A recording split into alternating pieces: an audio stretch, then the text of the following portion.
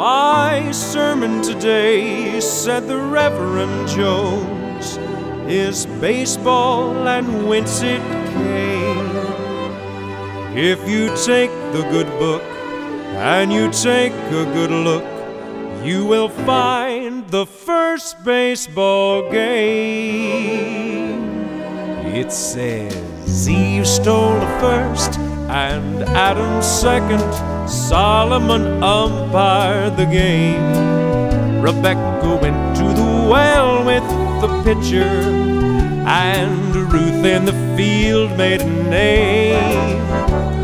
Goliath was struck out by David, a base hit made on Abel by Cain, and the prodigal son made a great home run. Brother Noah gave chicks out for rain.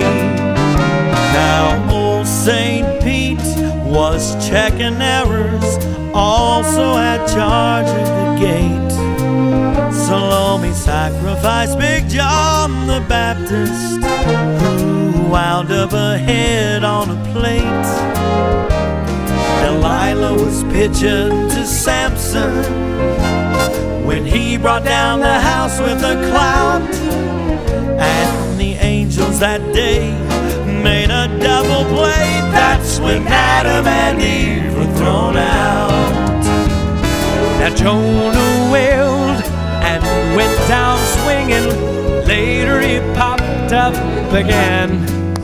A line drive by old Nebuchadnezzar made Daniel warm up in the pen. Satan was pitching that apple. It looked as though he might fan 'em all. Then Joshua let go with a mighty blow, and he blasted one right at the wall.